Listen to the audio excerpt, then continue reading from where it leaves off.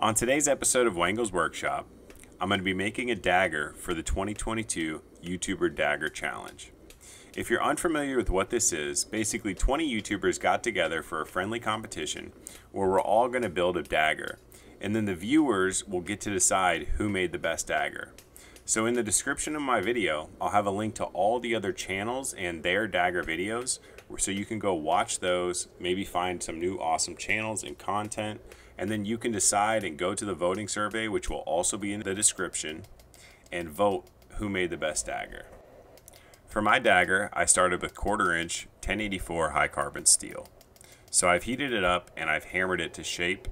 Now I'm going to go ahead and hammer the bevels in. After that, I'm going to stop. I'm not going to hammer out the tang. I would like to do that, but it's just a little bit too much work and my elbow can't quite handle that uh, with the quarter inch steel. So I'm going to go ahead and grind that and cut that to shape and then uh, we'll get going.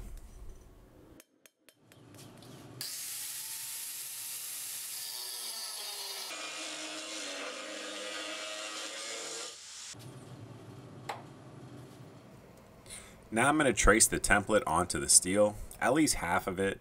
Um, and the reason I say half is because once you do one side of it, you pretty much have to stop and trace that side out and copy it over to the other side. That way you have perfect symmetry.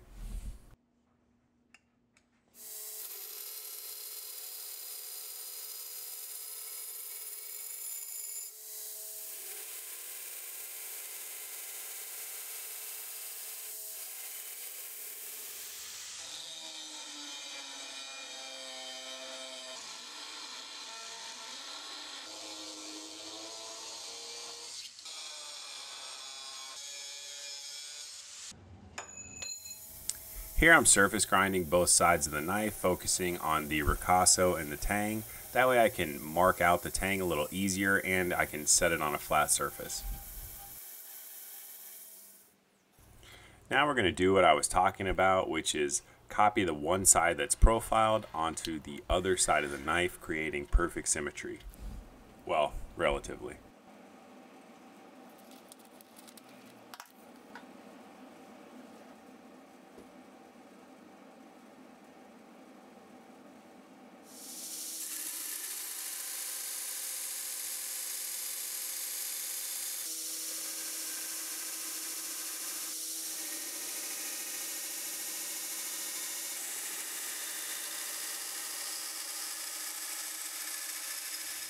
New tool to the shop that is long overdue. It is a file guide. I guess this one is the Nordic Edge. I think I ordered it from Pop's Knife Supply.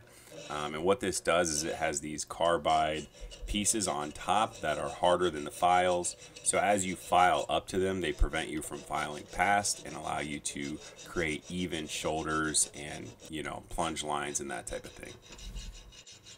One little tip when you're doing this type of stuff is to sand off one of the file edges so that one edge won't cut as you go up to you know specific surfaces. It's pretty convenient. So here's the dagger. I've clearly surface grounded a lot further. You can see some of the uh, bevels are forged in. That's fine. It'll make it you know less grinding work. And now go ahead and coat the edges with layout fluid and use a drill bit to mark out the bevel lines. Essentially, you're marking where to grind to the apex of the bevels. So now I'm going to go ahead and grind in my preheat treatment bevels. Um, I'll start with an aggressive angle and I will grind up to that apex line that we marked out and then I'll slowly pull the lines towards the center of the blade. And in this instance, I'm using a work rest method where I just rest the blade on the work rest and drag it across. It makes uh, grinding bevel's pretty simple.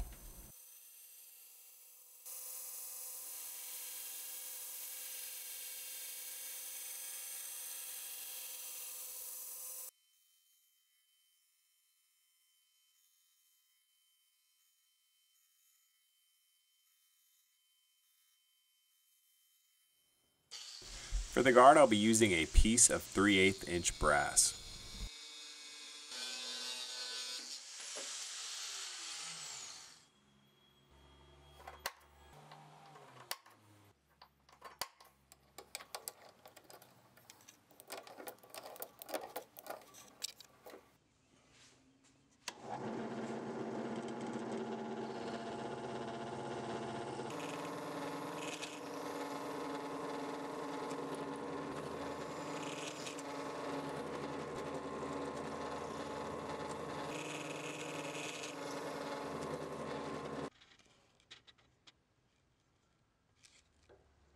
To connect the holes, I will put the bit in a regular drill. I will clamp the piece vertical and then I'll just slowly apply downward pressure, not too much obviously to put pressure on the bit, but enough to slowly work your way and connect the holes. And for the fine tuning, I will be using files.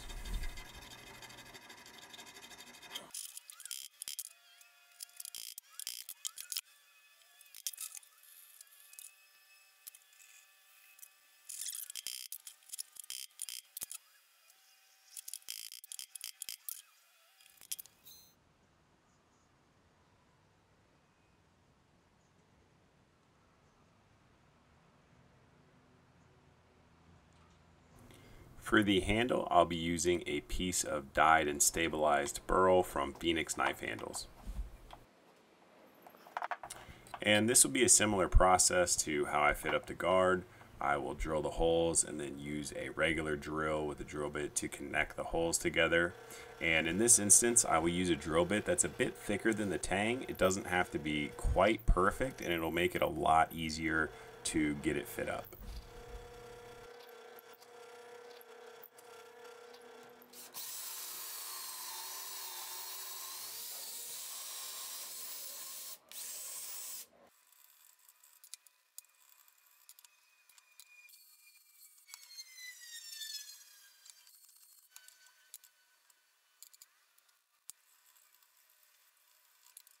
So here we are with the tang all fit up. Now I need to go ahead and drill the pinhole in the tang. And so in this instance, I will drill through the handle material, make a mark in the tang, and then I will drill through the tang separately, and then I will put the handle material back on and drill all the way through it.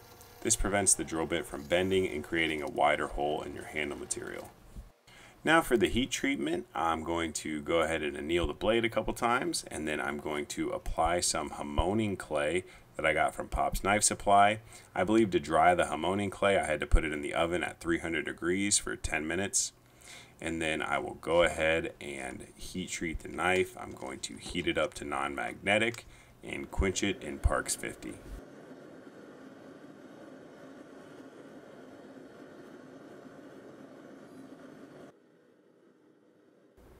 People, please make sure that you have a working fire extinguisher in your garage. You never know when instances like this might pop, up, and this one was no big deal, but you never know when it could be. Um, also, make sure you're wearing your PPE. I'm wearing a respirator. I have heat resistant gloves on, and this all just, you know, make sure that we're doing things safely.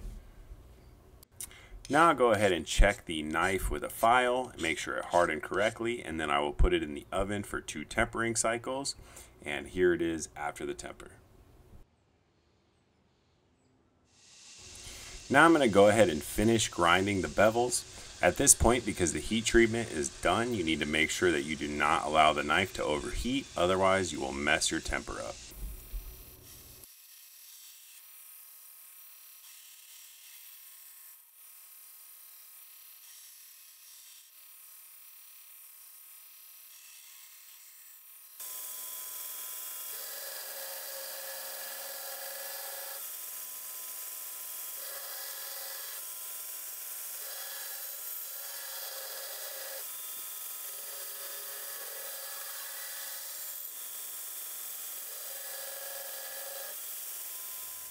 Once I finished grinding the bevels, I hand sanded the knife up to a thousand grit. Now I will acid etch the knife and then I'm going to polish out the hamon.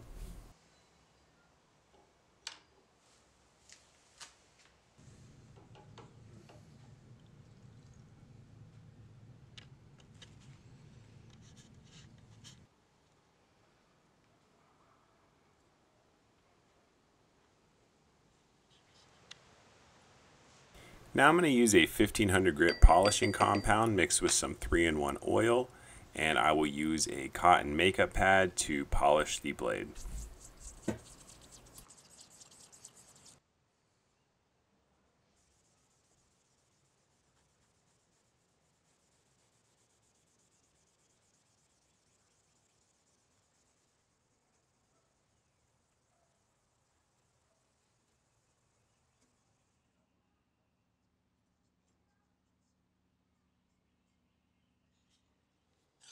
Now I'm going to shrink the guard down closer to the size I need it to be.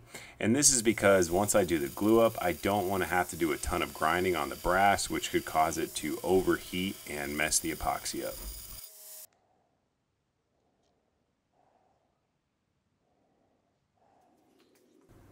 Now I'll go ahead and glue the guard and handle onto the knife using some JB Weld epoxy and some black dye.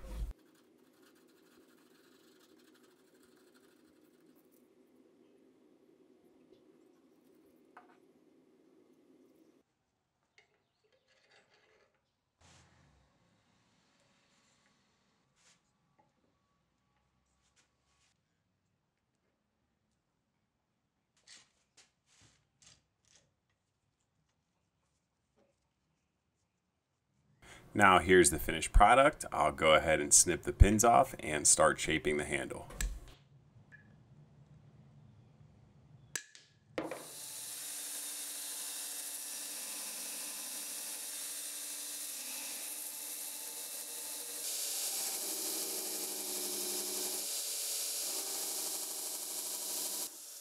For the shape of the handle, I decided on a round design, but it's actually going to incorporate um, some bevels and angles essentially.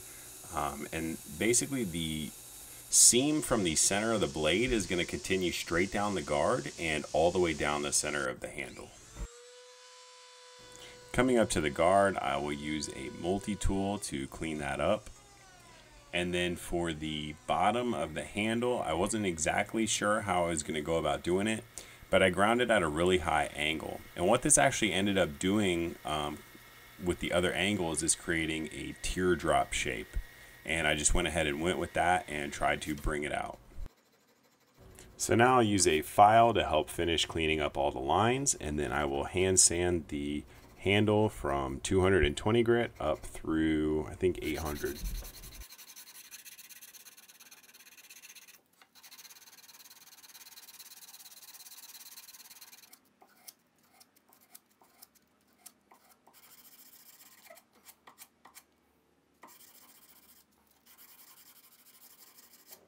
For the finish, I'll apply some boiled linseed oil, and then once that dries, I will buff the handle out.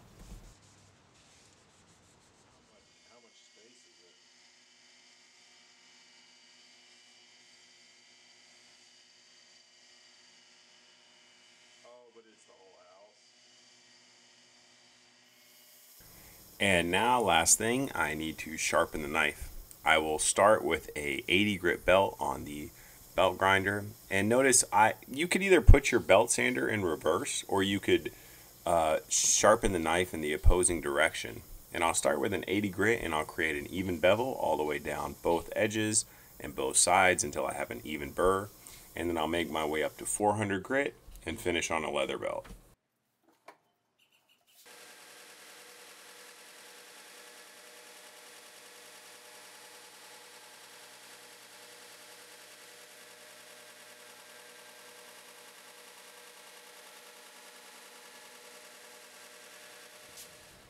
If you made it this far into the video, thanks for sticking around.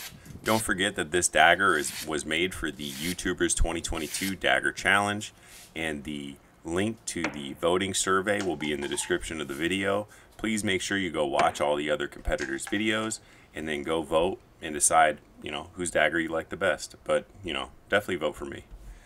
If you enjoyed this video, please consider liking it and subscribing to the channel. And if you want to be notified when I upload new videos, make sure you hit that notification bell.